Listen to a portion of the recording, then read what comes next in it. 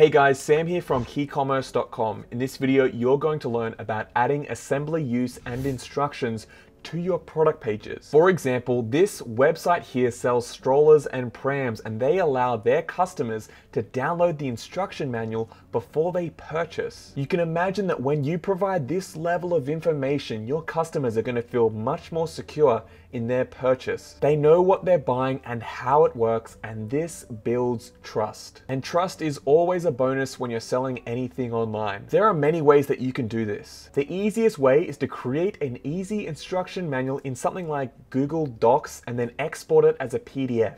Then you can actually host this in Shopify. Log into your Shopify dashboard and go to the file section of your admin. To get to the file section, just go to your Shopify dashboard and add slash admin slash settings slash files. I'm going to put that URL on the screen right here. It will take you to a page that allows you to upload files to your Shopify store. Once you upload your instruction manual, just hover over the link button to the right and click copy URL. Then you can use this URL as a link or a button on anywhere on your site, especially on your product pages. You can also show your instructions as an image, breaking it down just like in this example right here. This just shows people the makeup of the product and what's inside. It's very, very useful. Another thing you can do to show people how to use your product is to create a help desk like this one right here. This allows you to create a ton of different articles on your website that answer all the questions and problems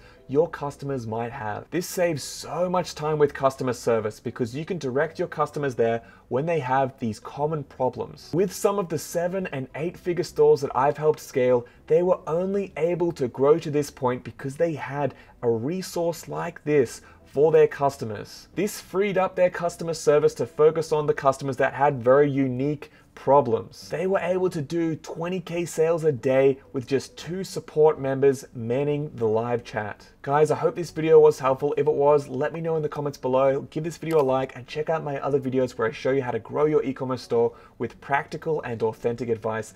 Thanks so much for watching guys. I really appreciate the support you guys give and I'll see you in the next video. Bye for now.